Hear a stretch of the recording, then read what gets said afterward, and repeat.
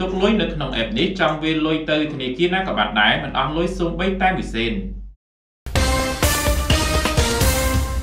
រាល់ថ្ងៃបងប្អូនប្រើប្រាស់ app ធនាគារគ្រប់គ្រប់គ្នាព្រោះវាមានភាពងាយស្រួលនៅក្នុងការទូទាត់ទំនិញនិងសេវាកម្មនិងងាយស្រួលនៅក្នុងការវាលុយទៅកាន់សាច់ញាតិបងប្អូននិងដៃគូអាជីវកម្មជាដើមប៉ុន្តែពេលខ្លះ app ធនាគារមានបញ្ហាស្ថិតនៅក្រោមការជួសជុលដូច្នេះបងប្អូនមិនអាចធ្វើប្រតិបត្តិការសេវាធនាគារនៅលើ app បានឡើយដើម្បីជៀសវាងបញ្ហាវាលុយមិនបានដោយសារតែបញ្ហា app ធនាគារគាំងសូមណែនាំ app មួយដែលអាចឲ្យបងប្អូនទុកលុយដូចជាទុកលុយនៅក្នុងកង់ធនាគារអញ្ចឹងដែរជាពិសេសគឺអាចវាលុយចេញពី app នេះទៅធនាគារនៅក្នុងស្រុកប្រមាណជា26ធនាគារដោយមិនអស់សេវាមួយរៀលនោះទេ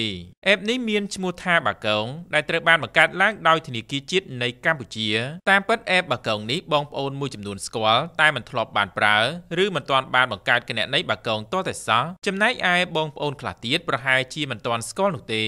app បាកងបង្កើតឡើងដើម្បីផ្ដល់ភាពងាយស្រួលសម្រាប់ប្រជាជនកម្ពុជាអាចធ្វើការវាលុយឆ្លងធនាគារដោយមិនអស់ថ្លៃសេវាជាពិសេសគឺពួកគាត់អាចចាយលុយដោយមិនចាំបាច់ប្រើសាច់ប្រាក់សុទ្ធពោលគឺគ្រាន់តែ scan តាម QR code នៅលើទូរស័ព្ទដៃជាការស្រេចដើម្បីទុកលុយនៅក្នុង app បាកងបានអ្នកត្រូវទាញយក app បាកងដាក់នៅក្នុងទូរស័ព្ទដៃរួចបង្កើតគណនីបាកងឲ្យបានជោគជ័យជាមុនសិនបន្ទាប់ពីមានគណនីបាកងហើយអ្នកអាចវាលុយពីកងធនាគារដែលអ្នកកំពុងតែប្រើប្រាស់មកទុករក្សានៅក្នុងគណនីបាកងបានគណនីបាកងវាប្រៀបដូចជាគណនីធនាគារប៉ុន្តែលក្ខណៈពិសេសរបស់គណនីបាកងនេះគឺពេលអ្នកមានលុយនៅក្នុងគណនីនេះអ្នកចង់វេលុយទៅធនាគារណាក៏បានដែរដោយមិនអស់លុយសូម្បីតែមួយរៀលបងប្អូនដែលមិនធ្លាប់ប្រើប្រាស់ app បាកងគួរតែចាប់ផ្ដើមប្រើប្រាស់វាព្រោះវាជួយសម្រួលបងប្អូននៅក្នុងការវេលុយឆ្លងធនាគារបានភ្លាមៗដោយមិនអស់ថ្លៃសេវានោះឡើយ